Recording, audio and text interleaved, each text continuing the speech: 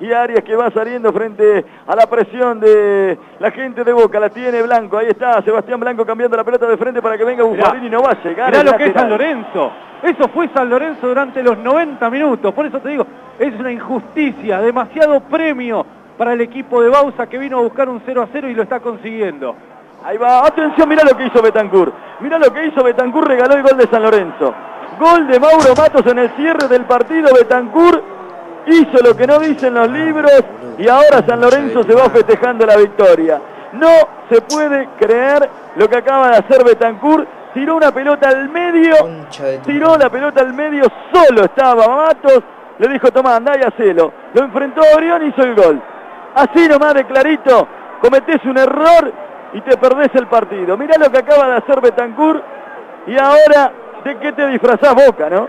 Porque en el cierre del partido cometer un error tan grave y regalar la pelota así es inexplicable. La verdad, inexplicable como Boca se acaba de perder un partido y acaba de perder la punta del campeonato, señores. Séptimo gol de Mauro Matos en el campeonato para la victoria este de ahora de San Lorenzo. No lo puedo creer, Guido. Estoy sin palabras, como toda la bombonera acá. Decíamos hace segundo nada más que San Lorenzo se estaba llevando demasiado premio con el 0 a 0. Imagínate con el 1 a 0. Error de Betancourt, el gol del Ciclón que le da el triunfo y la punta. No puedo creer.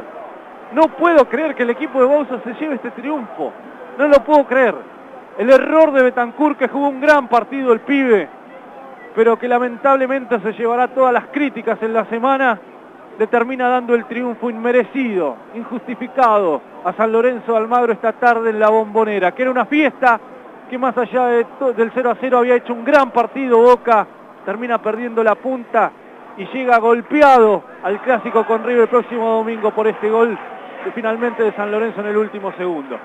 Hay córner para Boca. Tenemos la última jugada del partido y un Boca perdiendo el partido en forma increíble. Aquí en la bombonera va a meter el centro. Luciano Fabián Monzón va a venir el centro. En el punto del penal se mueve Caleri, se mueve también el Catadías. Viene el centro a abrir. ¡Oh! la pelota que se pierde por el costado. Se le va ancha el cabezazo del Catadías cuando el Cata Díaz se queda protestándole al árbitro. Una jugada dentro del área, no sé qué es lo que protesta el Cata Díaz, será salida de arco para Torrico. Y ahora San Lorenzo se va a llevar los tres puntos, comentarista.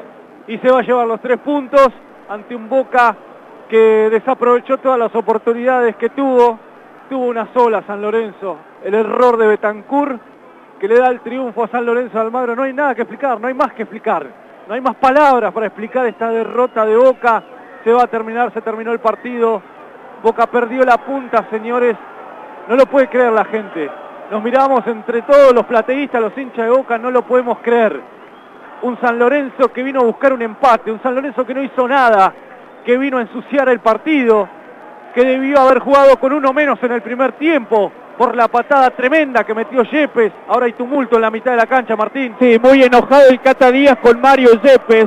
Se agarraron en la última pelota, en el último centro, de ahí ah, fue la bronca. Todavía lo sigue, el Cata Díaz lo quiere buscar a Mario Yepes, pero se intenta tranquilizar. Ahora sí se agarraron el Cata Díaz, muy enojado, muy enojado, muy sacado el Cata Díaz. Lo está buscando los hombres de San Lorenzo, ahora lo contiene Agustín Orión, lo separa Agustín Orión. Eh, también me parece que es Julio Buffarini el que está, el que está muy enojado por parte de que Mercier lo está separando. Eh, lamentable este final de partido entre los hombres de Boca y los hombres de San Lorenzo. Se reúnen los jugadores de Boca en la mitad de cancha, se reúnen y festejan los hombres de San Lorenzo. Y ahora festeja la gente de San Lorenzo dentro de la cancha.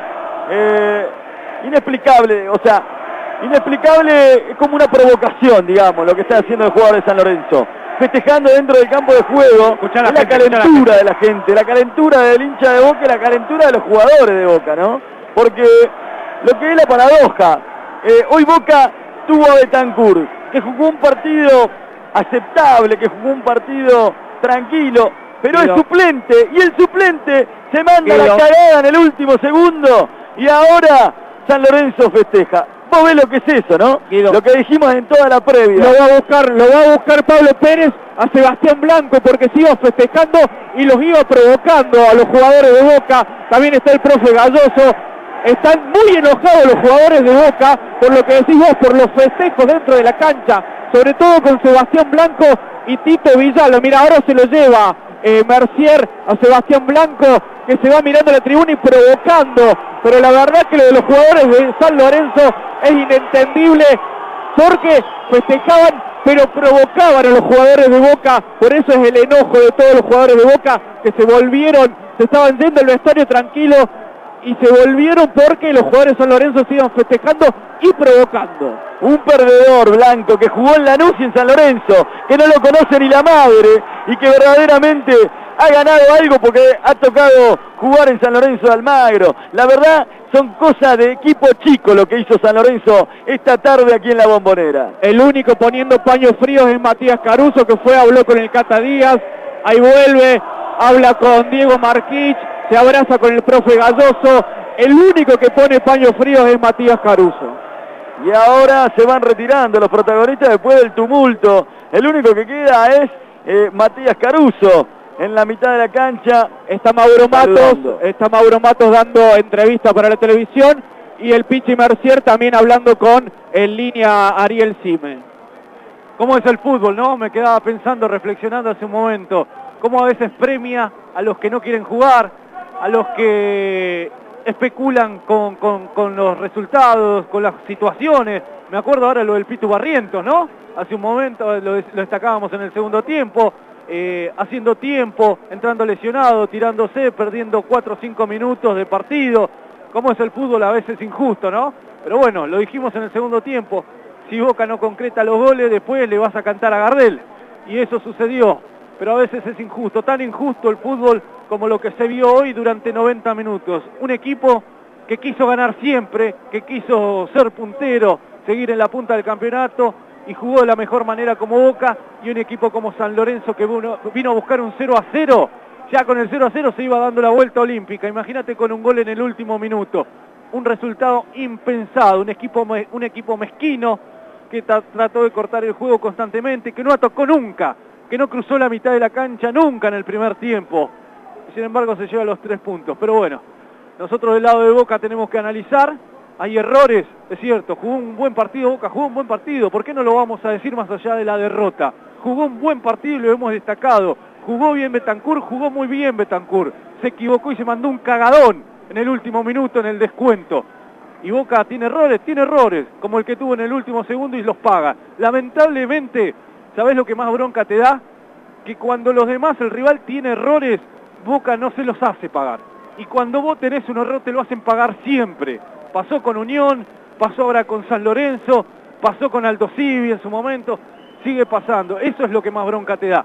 Que cuando el rival tiene errores, vos no se lo haces notar, no se lo haces pagar. Y cuando vos tenés un error, como tuvo Boca hoy, tuvo un solo error.